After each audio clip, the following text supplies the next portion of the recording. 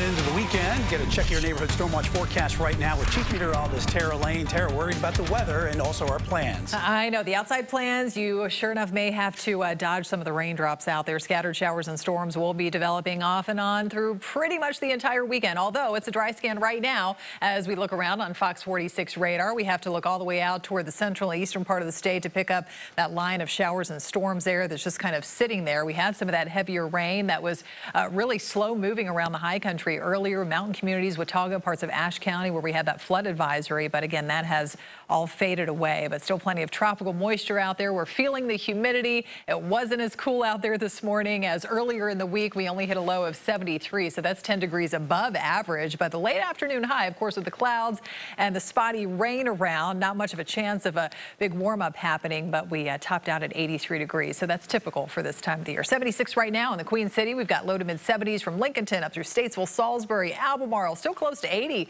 out there in Rockingham, mid 70s in Gastonia, 73 for you folks in Shelby and up through the Taylorsville, Hickory, Lenoir, Morganton areas, mid to upper 60s in the mountains. What to expect?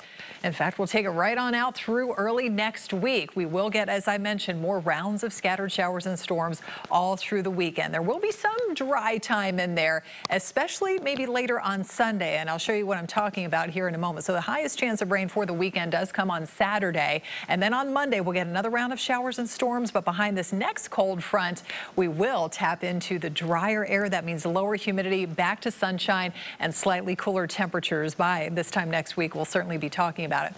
So tracking this first cold front that will start to settle in and just kind of stall out to our north. So we're still going to be feeling and seeing the, the tropical moisture out there. That's going to mean more scattered showers and storms for tomorrow, right on through Saturday morning, and then going into the afternoon and evening. So that's why it's going to be the wetter half of the weekend. And even though we'll still see some lingering rain with the front trying to push a little more to the south on Sunday, that's Sunday morning. Notice how by the afternoon, best chance of rain will be from near Charlotte off to the south. Meantime, the farther north and west you go, the drier it's going to be, but not for very long because here comes the next front and that will bring us more rain into Monday before the drier air starts to filter in.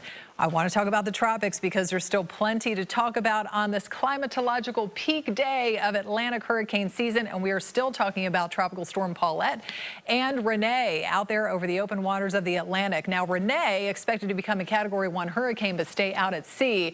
As for Paulette, this may make a run at Bermuda before curving and staying away from any major threat to the U.S. And that would be early next week, but it's still going to create some rough conditions out along our Carolina coast and life-threatening rip currents too. So keep that in mind if you do have some beach plans for the weekend. Also looking at a couple more disturbances, one east of the Bahamas that could move into the Gulf with about a 50-50 chance of development there. And another one south of the panhandle of Florida that will head maybe off the coast of Texas and another tropical wave coming off the coast of Africa. So this is way out over the open waters of the Atlantic. That could become Sally. That would be the next name on the list. Panthers game on Sunday. Again, it's going to be a close call. Chance of showers will continue. And don't forget about about our black and blue kickoff Sunday morning, 10 o'clock, that pregame show as football begins, guys.